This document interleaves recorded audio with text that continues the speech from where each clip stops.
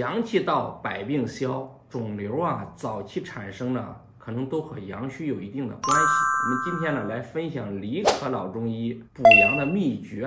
大家好，我是王医生。为什么说这个肿瘤癌症这一块早期和阳虚有关呢？《黄帝内经》有这方面的立论，《黄帝内经》这个《灵枢经》里面说，这个疾之所生，得寒乃生，厥乃成疾也。这里面所谓的疾，其实就是有形的肿块。当然，我们现在的这一些分型里面呢，倒不完全是寒。但是多多少少都有这个阳虚寒气生的这个影子。另外呢，我们《黄帝内经》上常常说这个阳化气，阴成形。因为阳化气呢，阳呢就好比火啊，你热度够了，它能把那个水呢变成水蒸气，而不至于说是有形的这个病理产物。堆积到一起，你像这个痰湿啊、淤血呀等等，这个就是为什么说阳气充足了以后呢，它把这个阴液堆积的这东西给化了的原因。阴液成型的，包括所谓的肿瘤啊、增生啊、囊肿啊、子宫肌瘤啊等等吧。所以说，要想免除被肿瘤困扰的侵袭，其实这个补阳呢，有的时候是关键的一项。而倒不是说你得了这个病以后都需要补阳，而是说。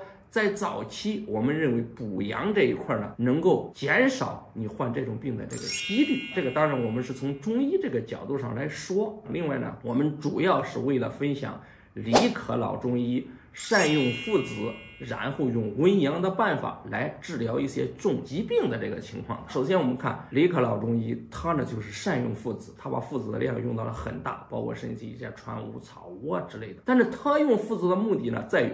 回阳救逆，这个补火助阳、纯热的这个药呢，就有回阳救逆的情况。什么是回阳？是因为你的阳气要陷进的时候，我们才用回阳救逆。什么是救逆？就是说你这个气血将要陷走，就是说这个人将要没命的时候，我们救逆把你救回来。这个是用这个药的一个药眼。所以说呢，李可老中医就是擅长用大量的附子来救助这个心衰垂危的重症。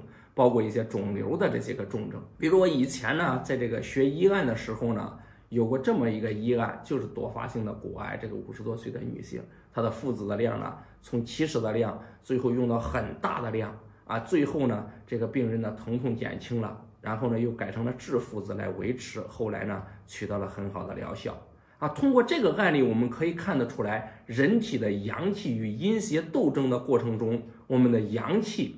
如果说靠你自身形成的这个阳气没办法和阴邪抗争呢？这个时候呢，病情是一天天恶化的，所以这个时候呢，病人呢容易出现这个阴盛阳衰的这个情况，甚至阴盛阳。其实很多的这个重病，包括这个心。肺甚至肾这一类的病，到最后都是以阴寒为主。包括我们常了解的这次新冠，我们这个看报道的就知道，解剖了以后呢，看到这个白肺里面全部是大量的痰湿和粘液。这个时候，如果身体的阳气充足，是不是这些粘液就不会那么形成呢？当然，我们现在是这么说，所以这个时候呢，就能更能够看得出这些偏重一点的病，阳气对这些人是多么多么的重要。那这个在治病当中，你自己的阳气不够，我们用温阳，温阳。最好的第一要药就是附子，所以说只有用了附子，尤其这个生附子，它能够把你残存的那一点阳气给激发出来的同时，能够把你身体的阳气收集起来对抗疾病。所以说，有的时候用这个生附子，包括一些玄敏反应，是治附子就有这些玄敏反应啊。我临床当中，我曾经讲过一个老头，那个时候就开。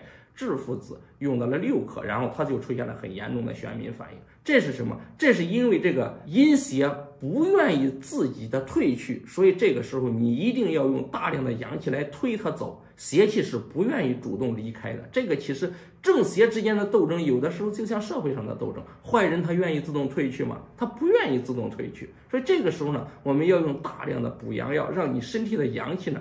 渐渐恢复，这个时候呢，达到阴阳平衡。我们说了，这回阳第一要药呢是附子，李可老中医呢也善用附子啊。但是我们说了，这个附子呢是有毒的，尤其是生附子。我们专业的医生用起来还得很谨慎。你就拿我来说吧，这个行医也十多年了。但是我就没有用过一次生附子，为什么？抢救急救的病人，我们几乎碰不到，我们用制附子就可以了。当然，我们说过，这个中医里面有一个叫温阳派，又叫扶阳派，人家附子其实就是一百克开始，但是人家有特殊的那个煎煮方法。包括前几天呢，我们发过一篇文章，说这个有一个人自学了中医一个月了以后呢，把自己虚脱，他里面开着这个药呢，他拿那个方子给我看，然后说那个附子呢，后来用到了一百克，甚至呢还用过生附子啊，很多小伙伴们。就在评论区里质疑说：“你这是是这个中医，你是不是黑中医呀？啊，难道不让我们自己去学中医吗？甚至说李可的这些书你看了没有？这个很明确的告诉大家啊，李可这个书我不比你们翻的少啊，每一个医院我都看，里面很多的方子我还在用，还在用于临床，这个我们经常用。但是呢，我们几个学中医的在一块儿就探讨这个问题：慢性病不等于危重病。”一定把这个给弄明白。我们鼓励自己去学中医，李可老中医是自己学的，名医岳美中他是自己学的，包括我比较尊重的这个曹营甫也是自己学的这个中医。为什么说中医能够自学？就是因为中医它这个悟性，你对药方的理解不是师傅能教给你的，也不是说课堂上能教给你，但是。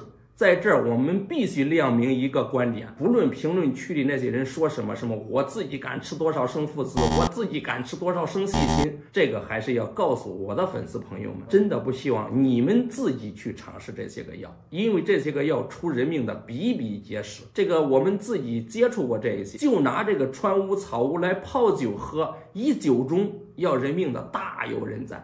所以这个呢，一定是在辩证。你用生附子，你用生细心，你用生半夏，你能达到李可老中医的那种程度吗？李可老中医他自己讲了，他是怎么用到这个方子的？他是自己最早给这病人开，开了三天，病人听错了，把三天的药搞到一块儿去熬，哎，结果感觉好多效果。那首先前提，这个病人，因为李可老中医这部书专门介绍的就是危重症，我们自己自学中医的呢。你自己给自己开也好，你自己给这个亲戚朋友开也好，但是呢，你一定要谨慎、谨慎又谨慎。像这一类的药呢，要少用；危险一类的药呢，你先不用。你说我有一点冷，还有流口水、肚子凉，吃一点凉的拉肚子，含附子的中成药附子理中丸，你吃两丸行不行？如果一吃上火，我们就停，行不行？找专业的医生，这样可不可以？我的粉丝朋友有一个来到我这就说了。附子用到过四十克，照样腿寒，照样凉，照样摸上去凉。为什么？有的时候我们曾经讲过，表阳、根阳、气郁，阳气不达；湿郁，阳气不达，等等等等。你这个东西你能变得明白吗？所以像这样的用附子，这样的用细心，这样的用生半夏，你们千万千万不要这么用。如果你觉得你自己是这方面的情况，你可以在评论区里留言，我们帮你变一变，这些都可以。评论区里有人吃这个吃那个。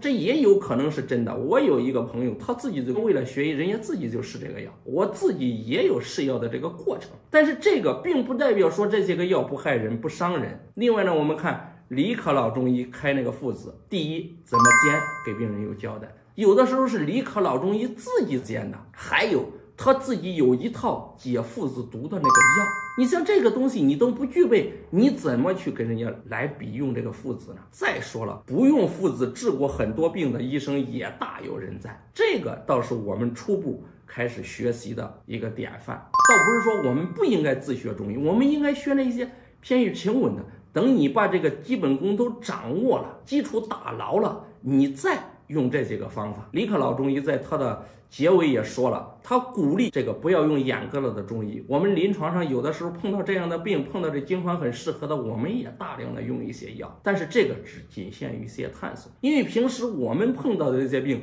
其实就是一些日常常见的这些小病，真正达到那么危重的情况呢，常常碰不到。好了，今天就和大家分享到这里，大家有什么问题，可以在评论区里留言。